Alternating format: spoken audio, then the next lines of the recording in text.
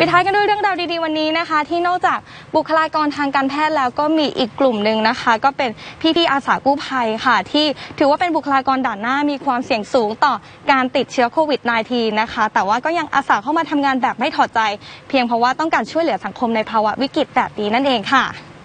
ตั้งแต่เกิดการระบาดของโควิด -19 ในพื้นที่จังหวัดเชียงใหม่นะคะ ก็นายนัทวุฒิรัศมีธรรมจักรตัดสินใจรวบรวมเพื่อนร่วมอุดมการอาสาสมัครกู้ชีพกู้ภัยในพื้นที่ มาช่วยกันรับส่งผู้ป่วยโควิด -19 ค่ะ ที่โรงพยาบาลสนามศูนย์ประชุมนานาชาติเชียงใหม่ ตั้งแต่ช่วงแรกของการจัดตั้งโรงพยาบาลสนามแห่งนี้นะคะ โดยมีสองภารกิจหลักก็คือ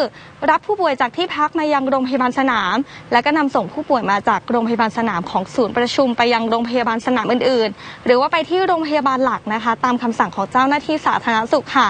โดยเฉลี่ยต่อวันจะต้องรับผู้ป่วยจากด้านนอกเข้ามาประมาณ 100 คน แล้วก็เคลื่อนย้ายผู้ป่วยออกไปยังจุดต่างๆ ประมาณ 300ถึง400 คนค่ะทำให้รถแต่ละรอบเนี่ยต้องวิ่งออกไปส่งวันละ3ถึง 5 รอบเลยนะคะแม้จะมีมาตรการด้านความปลอดภัยในทุกขั้นตอนของภารกิจ แต่อาสาทุกคนก็รู้ดีนะคะ ว่ายังมีความเสี่ยงภารกิจนี้จึงต้องการคนที่พร้อมจะเสียสละจริง ๆ ค่ะ